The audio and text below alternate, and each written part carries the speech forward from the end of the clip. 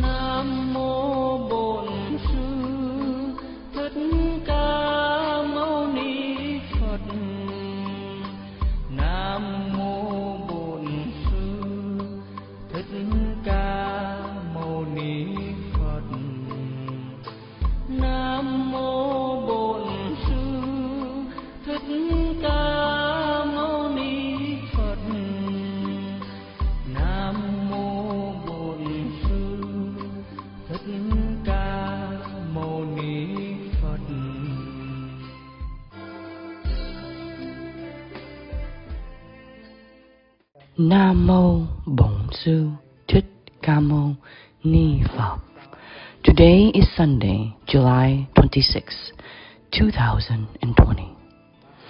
It is 12:37 p.m. Washington State Time, and I am Dharma Master Thich Thong Lai. I would like to send my warmest greetings to all compatriots whom are living abroad and in Vietnam and to people who are attending my live stream sessions to continue listening to the preaching of the Diamond Sutra. As usual, I will answer some questions about the Diamond Sutra from Buddhist followers who listens to the Diamond Sutra.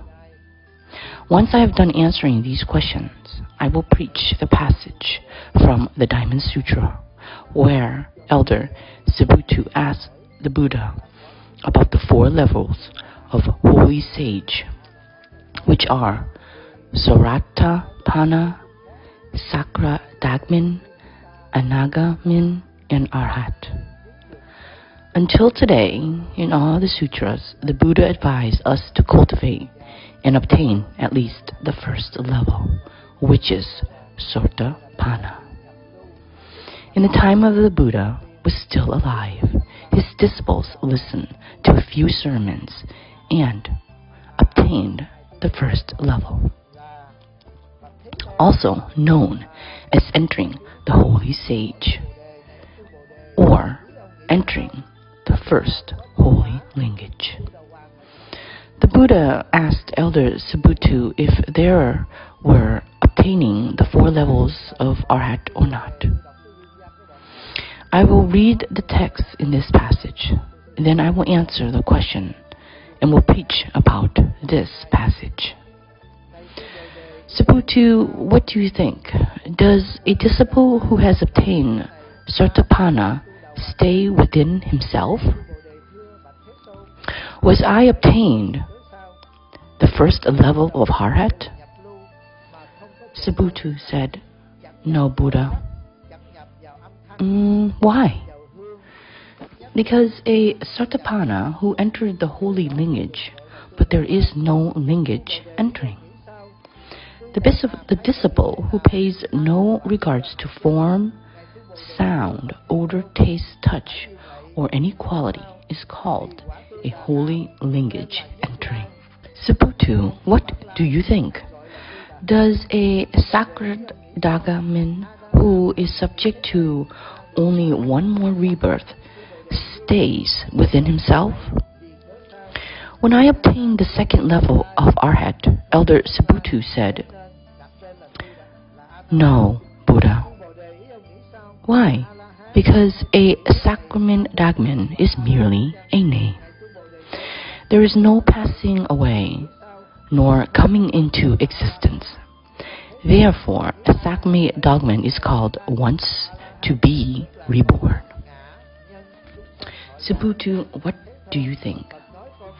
Does an agamen who will never more be reborn as a mortal stay within himself? Was I obtain the third level of an arhat, which is non-returner? Subhuti said, No, Buddha.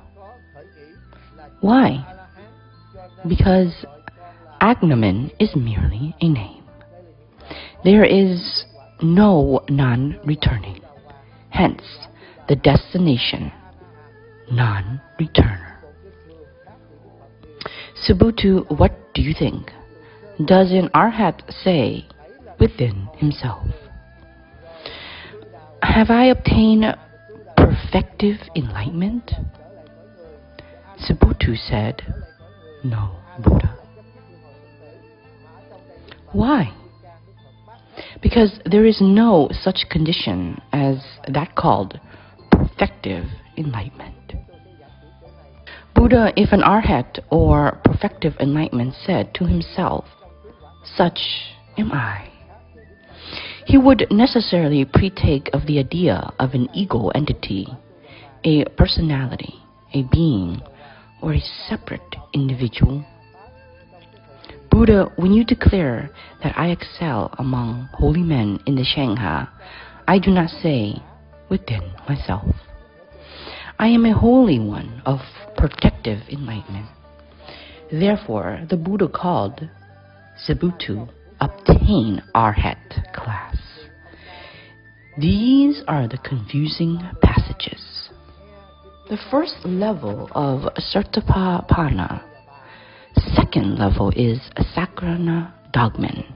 Third level is Anagamin. And then the last level is Arhat. In other sutras, the Buddha encourages us to obtain at least the first level. That is Sotapanna level. Once obtained at this level, the cultivator will reincarnate as human for seven times before entering nirvana.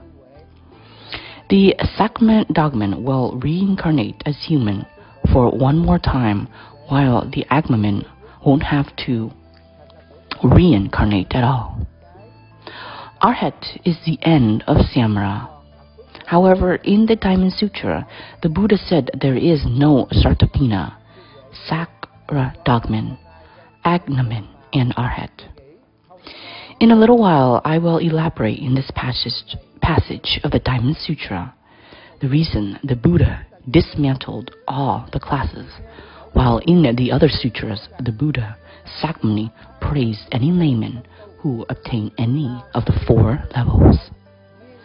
The wealthy merchant Sudatta obtained Sotapanna. He also hired his son to cultivate for him by holding the eight precepts for a day, and his son also obtained Sotapanna. In the end, his son no longer wanted money. However, in the Diamond Sutra, all holy levels are dissolved. In a little while, I will explain, and now I will read a letter from a female Buddhist follower who has a husband.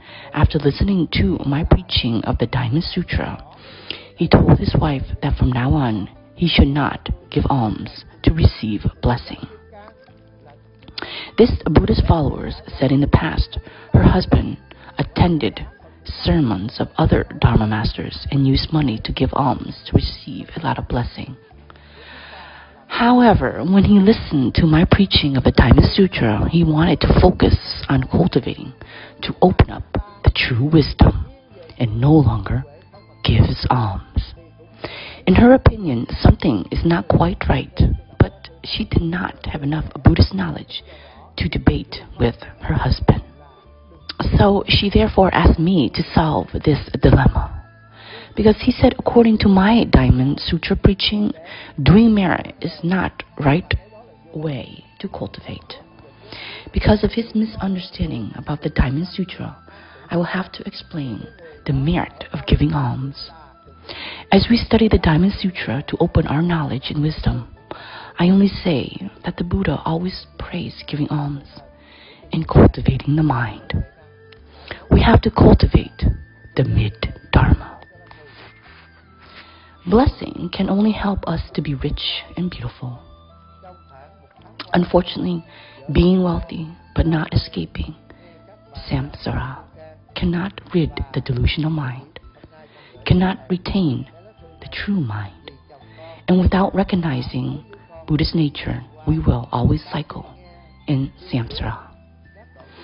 But if we cultivate the wisdom only without giving alms, even if we have obtained the arhat level, we will suffer like the unfortunate bhikkhu who will never had a full meal in his whole life. To have a full meal before he obtained arhat level, he must use the blessings from the Buddha. So I have to explain this misconception clearly to the male Buddhist follower who said no need to practice merit because the Buddha dismantled all the holy sage classes, even the arhat level. The Buddha only talked about the Buddhist nature and not about giving alms. It is very pitiful to practice merit without cultivating the mind to recognize Buddhist nature, or cultivate the mind without giving alms. They both were not Buddhist concept. Let me read this letter and I will explain clearly that I do not have a policy of not giving alms. I preach Dharma according to the spirit of the Diamond Sutra. Giving alms will be rich, beautiful, and reborn in heaven. Those are impermanent because once all the blessings are depleted, these people will still fall back to the six paths of birth and death. Only people who rid the delusional mind and retain the true mind anywhere is the blissful land world, and everywhere is the ashram. Anything these people will do benefits sentient beings. According to the sixth patriarch Huineng and the spirit of the Diamond Sutra, these people recognize their Buddhist nature. I now invite you to listen to this email. Dear Venerable Thich Thong Lai, for the past month, my husband and I have been very passionate about listening to the preaching of the Diamond Sutra.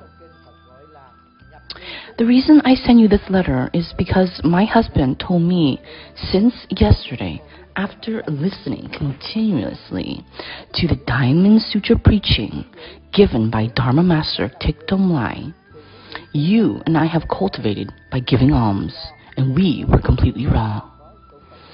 Since today, I vow not to give alms or offering, and I must cultivate to rid the delusional mind and abide to the true mind. So from now on, you should not ask me to go to charity, to give alms, and to free trapped animals, because I see almsgiving only receive blessing and still cycle in samsara. It is the curse in the third life. I heard the preaching of the Diamond Sutra, and I no longer enjoy giving alms because it does not benefit us at all, but it is a disaster for the third life. That is my final decision, and I want to let you know that. That was from my husband's words given to me last Sunday, and it made me terrified.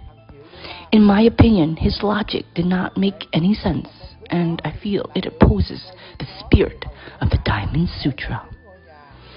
It is clearly that he has not rid his delusional mind, and he had not obtained his true mind. He insisted that giving alms is the wrong way to cultivate. I also don't think your undertaking is persuading Buddhist followers not to give alms. Once you receive this email, please take a moment to clear my husband's misconception about the merit of giving alms. I truly appreciate your, your merit and wish you health in this pandemic. Signed by a Buddhist follower who has who has a husband that relies on the Diamond Sutra to stop giving alms and doing charity. Do you remember that the Buddha did not praise giving alms without cultivating the wisdom only? However, if we cultivate the wisdom without giving alms, we will be miserable on the journey from ordinary layman to becoming a Buddha. Most of you already know the historical story of the unfortunate monk. Back to cultivating wisdom and giving alms. What is the benefit of this mid-dharma? Let me talk to you more about the first level in, of enlightenment, which is Saratapana, or entering holy lineage, so they will become arhat after cycling as humans for seven times. Saratapana is the lowest level of the four holy sage classes. As you will be reborn as a human, you will be born in a nation of freedom, democracy with human right, rights. You will be born in a family that your parents have morals and virtues, and your parents understand the Dharma. That is the blessing for cultivating with both giving alms and opening wisdom. Please remember if you cultivate by opening the wisdom only, you then won't have the blessings to protect you.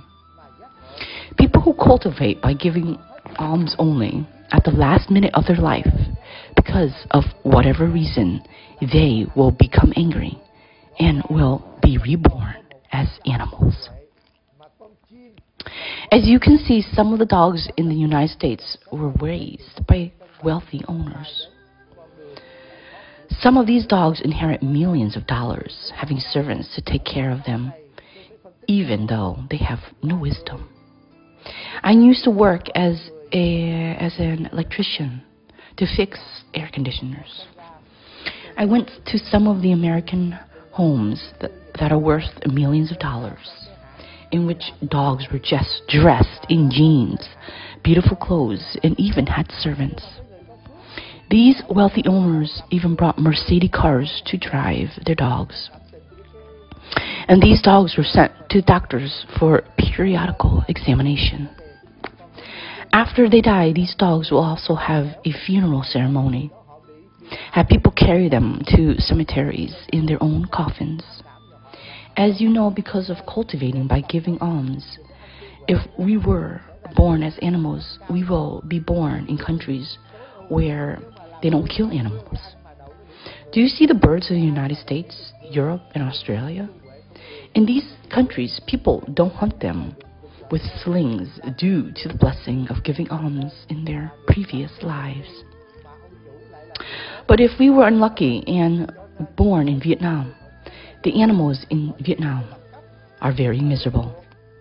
In human race, wars happen because of enemies killing each other. However, in some countries, they don't know much about Buddhism, like Vietnam and China. Every time they see an animal, they start to think of a way to kill that animal. From a pregnant woman to a child, from an adulterer to a drinker. When seeing the birds, they will look for something to kill the bird and eat them. A pregnant woman would throw a rock at the bird that lands on her fence. A child would use a slingshot to kill the bird. A dog in Vietnam, stray or not, they will be shocked by tasers and sold in slaughterhouses. You can clearly see if you are blessed, even though you are born as animals. We are still born in a country that is protected for us from being slaughtered by the law of that country. When I preach the Diamond Sutra, I explain the, the supreme enlightenment as the Buddha disregarded all the conser conservative views and principles. As this Buddhist follower listens to the Diamond Sutra, it is not clear if he has successfully rid his delusional mind or not. But he's like a bird with one wing. As you know, a bird needs two wings. One is blessing and one is wisdom. Only that his cultivation cannot be balanced to reach the freedom of samsara. I will analyze the blessing more clearly. In this world, people who practice giving alms, they are very rich. Two people who do the same industry, let's say hmm, computer engineering, they both apply together to a company called Microsoft. The human resource staff automatically views the profile of the blessed person and liked it. The blessed person gets hired and is paid a very good salary. The person who is not blessed meets an unhappy interviewer because of this person's conflict with his spouse. The unhappy interviewer rejects all of the applicants. So, on the degree, the person who cultivates the wisdom will graduate with a higher GPA, pass the exams with a higher score, but still earns less than the one who graduated with an average GPA because this person gave alms in his previous life more than the cultivating for the wisdom. Because of giving alms in the previous life, so in this life, he has a better life, an easier job, and works for a company where his boss is a good person and helps him all the time. You see, there are many people who have many degrees and are very good at what they do, but in the end, they still have a bad life.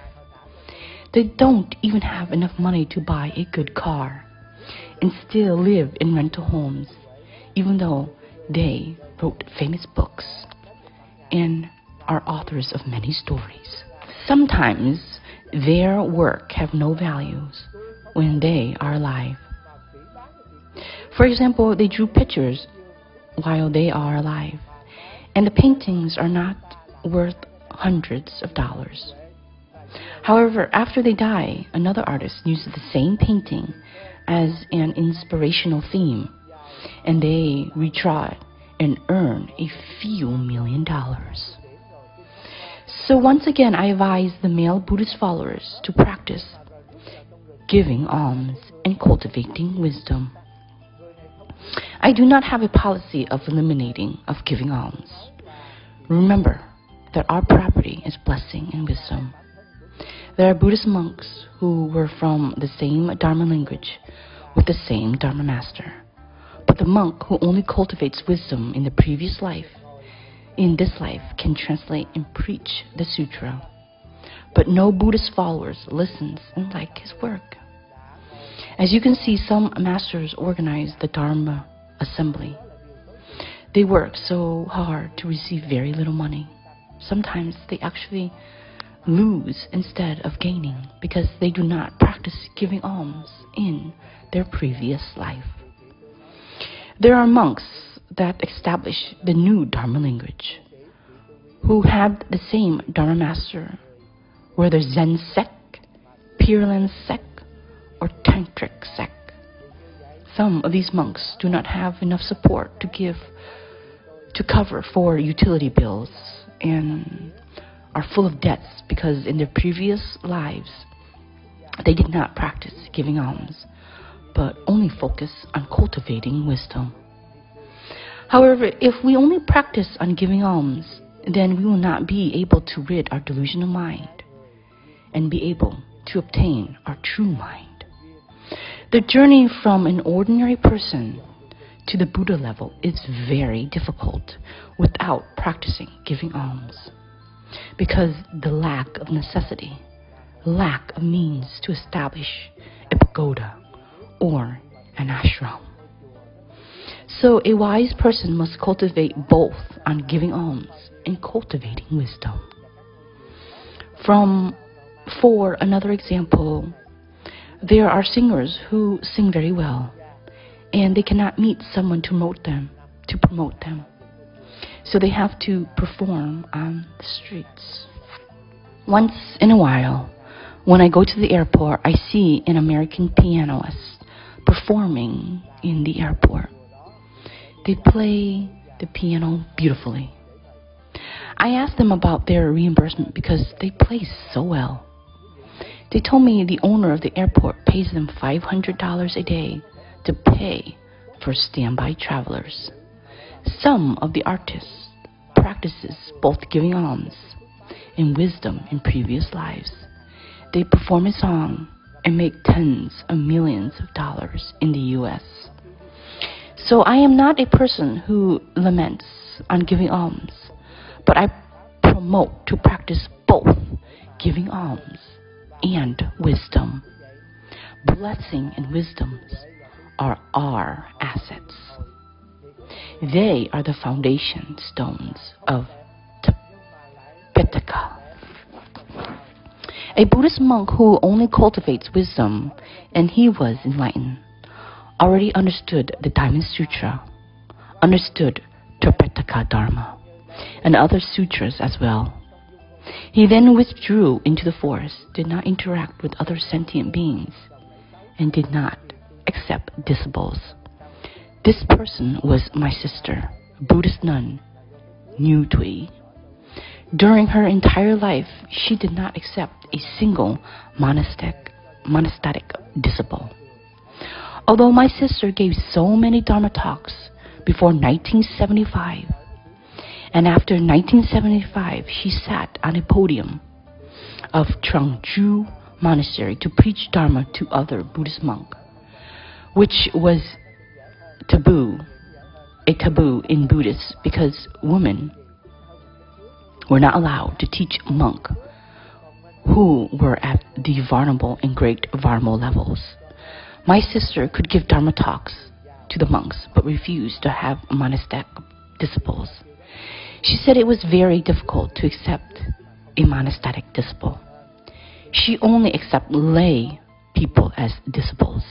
Her vast knowledge about Buddhism Dharma ended as she entered Samara. Her Dharma lineage ended. She did not share the Dharma light to the next generation. I want to talk about a Dharma master in Oklahoma.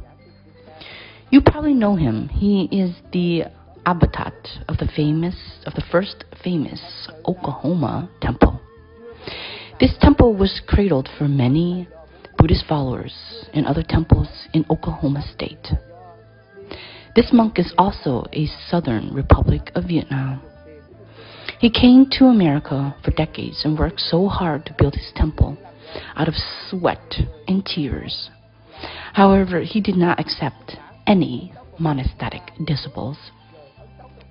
He is still alive, but he is already in his 80s and he is very weak. You can see that the temple will also go into Samsara because there is no one to maintain the Dharma lineage. That is the matter of spirituality. As you can see, there are doctors who graduated from the same institute, but one graduated with honors could make less money than one graduated with an average GPA. Because of the blessing from previous life, he works for the hospital. He has better benefits, and hospital boards welcomes him. If he takes refuge in Buddhism, he will make more he will have more convenience and means of establishment his lineage. He won't be in debt during his journey of preachhood, preaching the Tripitaka. The women who practiced giving alms in previous life, they reincarnate and marry handsome husbands. Their husband loves them clearly, and they're not they and they are not even beautiful at all. That was because of their blessing from previous lives. And on the contrary, some women who are beautiful, elegant, skillful, and faithful, but they marry to a wife beater. Their husbands are so ugly and don't even love them. My examples are not 100% accurate, but there are things like that that happen in this world because of the blessing from our previous lives. Tell you that all are due to blessing. As a nail salon owner, you train with newly graduate technician. These technicians did not know how to do acrylic, silk, manicures, pedicures. You train them from beginning and they just left you to open up their own nail salon. Their hand skills are not as good as yours.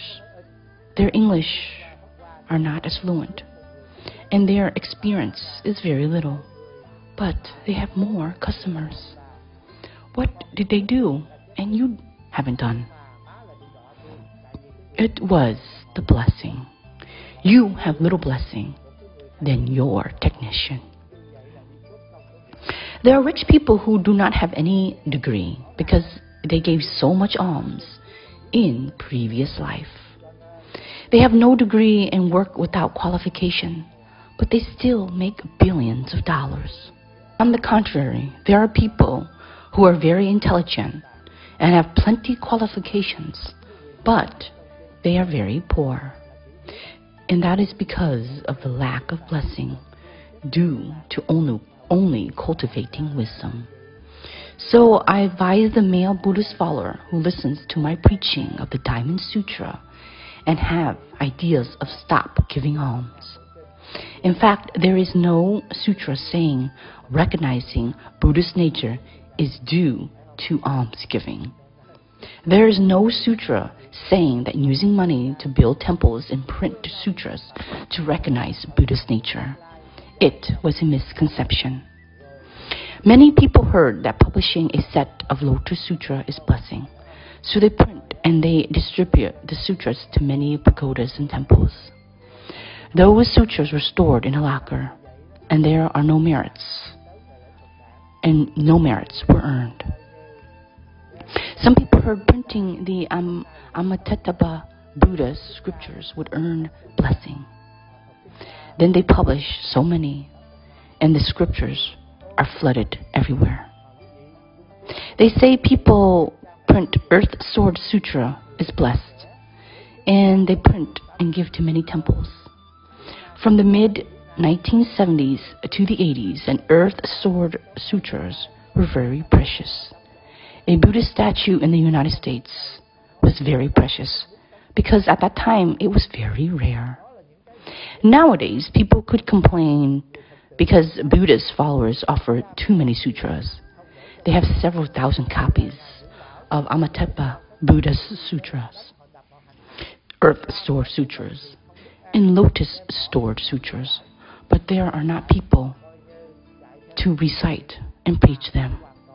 You can see clearly that the sutra is only valuable if it is used for reciting. Last summer, during the Earth Stored Assembly, why did I force my disciples to rewrite the Earth Stored Scriptures? Because I know rewriting sutras has merits. In fact, when you rewrite the sutra, you have to use the three karmas. The body, which is your hand to write, the mouth is used to read the sutra. Then the mind is used to rewrite the sutra. So you had used all the three karmas to rewrite the sutra. For some people, it took a whole month. Some people finished it in two months. Some people, three months. And some even took six months. Once done, they brought it to me to inspect and sign. The blessing is not from decorating the sutra beautifully, but from the dedication of rewriting. People who listen to my advice and rewrote the sutra, once they done, they understood the meaning of the earth stored sutra more than reciting it. Once you understood the sutra and imprinted in your mind, your wisdom and blessings are like the vast ocean. That is the merit of rewriting the sutra. In the old days, there were no printers. Some people wanted to copy the Lotus Sutra to give the merit for their past relatives. They hired someone to rewrite the sutra, and their relatives appeared in their dreams to inform. Because of their hired, their sons hired people to copy the sutra. The mother got more intense punishment. The son was lazy and hired someone to write. He basically robbed the work of the others. That is called copied sutra, not rewrote sutra. Please do not print sutras in bulk without understanding the merit, understanding the right meaning in the earth stored sutra. The righteous meaning in the earth stored sutra is the filial. If you recite and rewrite the Earth Store Sutra but leave your parents hungry or in a nursing home, you can copy the sutra a thousand times and you still did not understand the preaching of the Buddha. The Buddha preached the Earth Store Sutra to teach us to repay to our parents filial piety. Ladies and gentlemen, some of you heard that giving bath to the Buddha Sakyamuni statue is blessed.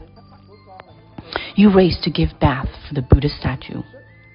From small temples to big temples, every Buddha bathing ceremony was lined up with a very long line. The Buddha statue stood in the lotus tub filled with aromatic oils. Then the great Varnamo gave the first bath. Then the Varnamo, and then lay people. But giving bath like that is not as good as staying at home on Buddha's birthday and giving bath to your own parents.